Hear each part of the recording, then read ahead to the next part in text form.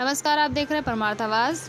कश्मीर से धारा 370 व 35 से हटने के बाद भारतीय जनता पार्टी के लखनऊ जिला अध्यक्ष रामनिवास यादव ने शनिवार को मलिहाबाद में कश्मीर से धारा 370 व 35 को भारतीय जनता पार्टी द्वारा समाप्त किए जाने को लेकर प्रेस कॉन्फ्रेंस की, जिसमें लखनऊ जिला मंत्री हंसराज लोधी, जिला मीडिया प्रभारी विजय कुमार मौर्य, काकोरी के पूर्व चेयरमैन सुशील लोधी व काकोरी मंडल अध्यक्ष रविराज लोधी सहित ज़िले व काकोरी मंडल के अन्य पदाधिकारी रहे मौजूद।